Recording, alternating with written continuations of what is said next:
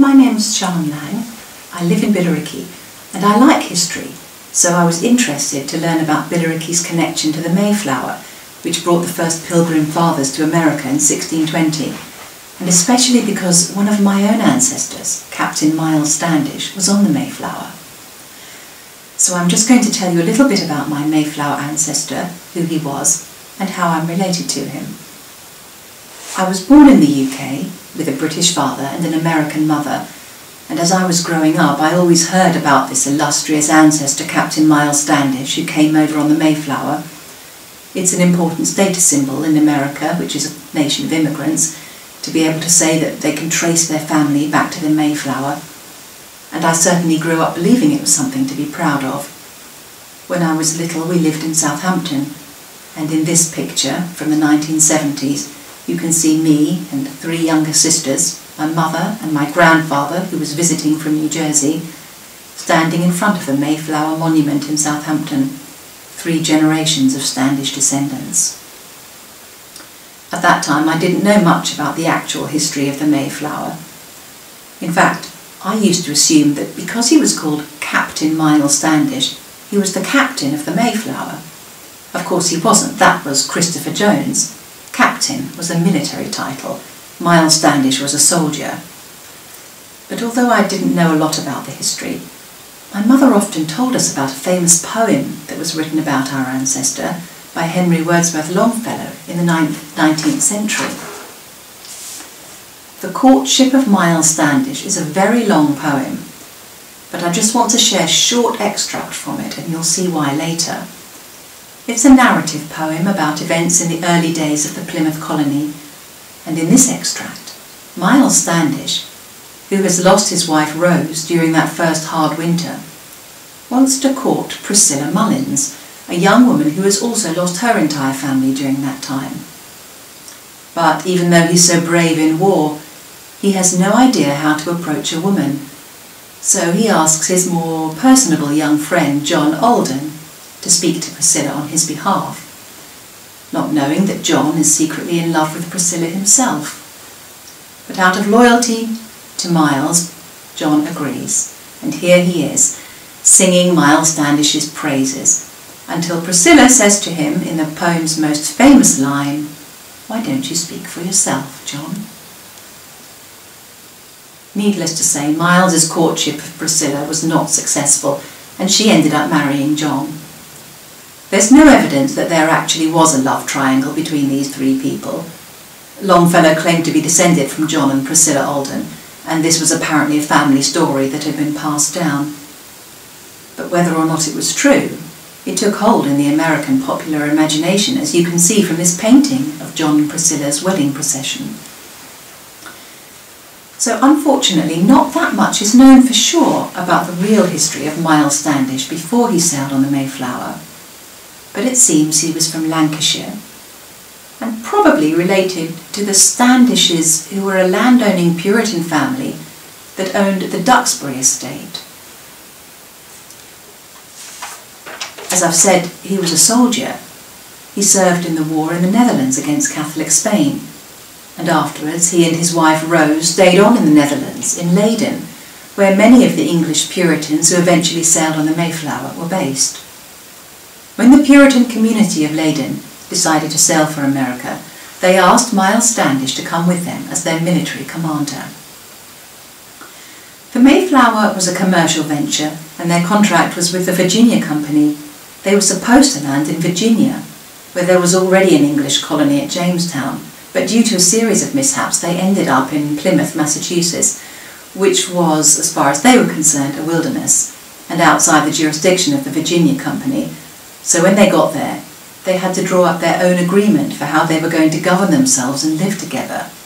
And this is called the Mayflower Compact and is considered to be a forerunner of the American Constitution. And Miles Standish was one of the men who signed the Mayflower Compact in 1620. The first winter they were in America was famously very hard. Half of them died of hunger or disease, including Miles's wife Rose.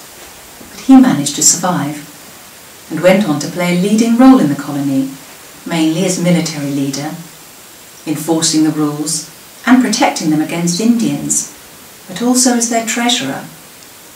And although he didn't marry Priscilla, he did marry a second wife, Barbara, who came over on a later ship, and they had several children. Miles founded the town of Duxbury, which is one of the reasons we think he was related to the Standishes of Duxbury in Lancashire, and he lived there until he died in 1656. So the way that I am related to Miles Standish is through my mother Peggy, who as I've said is originally from New Jersey in America, and her maiden name is Standish. Her father was Franklin Everett Standish, known as Pete, who was my grampy, and the picture on the left is how I remember him. But I also found on Ancestry, because during the lockdown I treated myself to the worldwide version of Ancestry, a page from his high school yearbook. So the picture on the right is from the Jeannette High School yearbook of 1925, and my grandfather is in the middle, and someone has written a little verse about him. Here is Everett among our files, a worthy descendant of old Captain Miles, like the Puritan brave, from neither powder nor gun, but from a powdered face will this lad run. This clearly shows how important his ancestry was to him, and also references the story of the unsuccessful courtship of Miles Standish we saw earlier. So after being in the science club at high school, my grandfather became a teacher of chemistry, but his father was a carpenter in Jeannette, Pennsylvania. And here is a picture of their family in the early 20th century.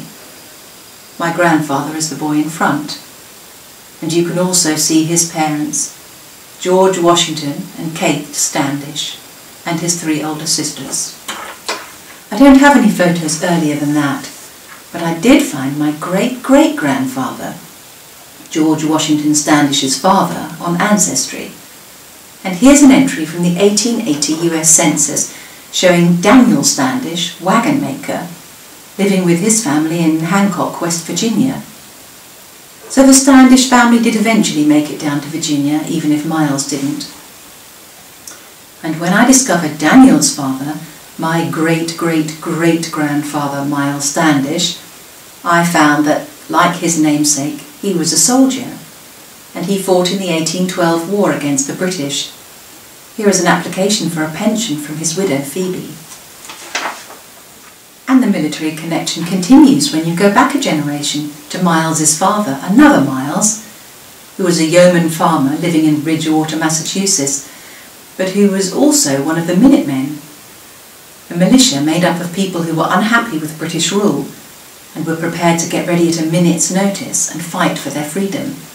I found that this Miles, Corporal Miles Standish, took part in the very first battle of the War of Independence battle which was immortalised by another of Longfellow's narrative poems, The Midnight Ride of Paul Revere. It starts, it was the 19th of April 75, hardly a man is still alive who remembers that famous day in the year and the midnight ride of Paul Revere.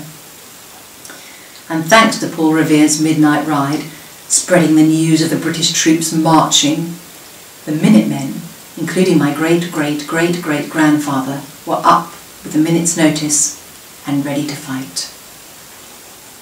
Before that, I found it hard to get any more details of earlier Standishes, except that it was Corporal Miles's father who sold the family estate at Duxbury, and also that Miles was a family name that was passed on for several generations.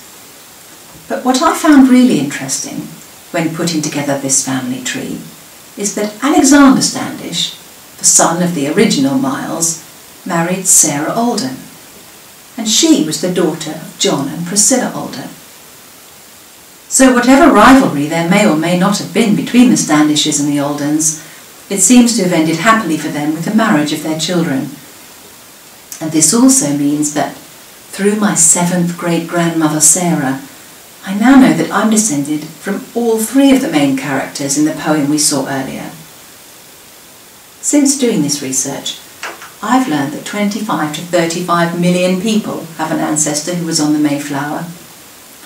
So perhaps it's not such a special thing as I was always brought up to believe. But to me it's still special, and I've thoroughly enjoyed finding out more about my ancestor Miles Standish.